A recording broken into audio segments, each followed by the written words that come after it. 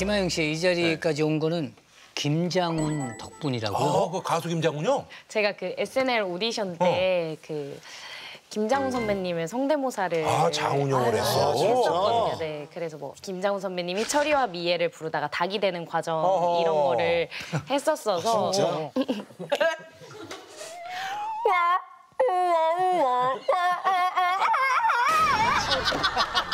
네, 이, 런 거를 했었어요. 네. 이런 거. 되게 독특하다. 어.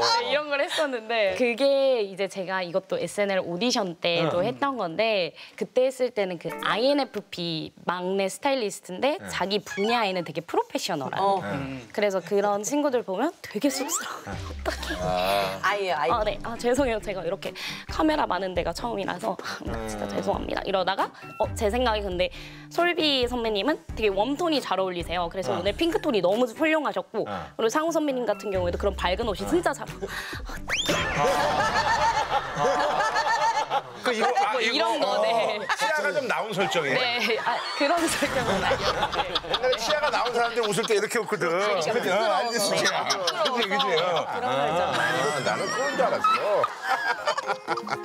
내는 분들 관찰력들이. 어. 또 하나 오디션 했던 게 ENFP 이번에 ENFP고 스타일리스트 마지예요 이번에는 네 어시가 아니라 마지여서 그분은 어네 어 안녕 외양 쪽이야? 어 안녕하세요 저는 어, 샌프란시스코에서 한 패션 학과 5년 정도 있다가 어, 이번에 한국에 들어왔고 어, 이름은 로라정 한국 이름은 정필순 아, 이거. 어, 어, 어. 이런 거를 네, 또 오디션 때 했었어요. 네. 또 이렇게 해서 뭔가 사람 묘사를 MBTI별로 이렇게 해서 아, 보여드렸어요. 그럼요 가면이 여러 개예요. 네, 네, 좀 다르게. 그러니까 제주꾼이야. 아, 어.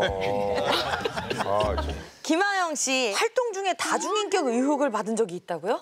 최근에 제가 이제 버거로운 알바 생활이라는 거기서 1인 5역을 했어요, 제가. 거기서 이제 했던 게 뭐 부점장 강윤주라는 역할을 했고 최수진이라는 또 역할을 하고 정미소 역할 또 이렇게 FM이 뭐 박보배 이런 거를 막 했었어서 그래서 그게 이제 또 요즘 쇼츠로 네, 조금 많이 보시더라고요. 야, 그래서 오역을 해서. 일인 네. 혼자서. 네. 네. 그래서 너무 기분 좋았던 게 그 정미소라는 역할을 하고 나서 다음 역할이 이제 박보배여서 안경을 쓰고 딱 나타나서 막 연기를 하는데 음향 감독님께서 어, 아까 그분 가셨어? 막 이러시는 거예요. 그래서 어 그거 저였잖아요 감독님 이랬더니 네. 아까 그분이 아영 씨였어요? 그래서 아니 이거 1인 5역을 혼자 다 하는 거냐고 우리 자기들의 그 노고와 열정 덕분이에요.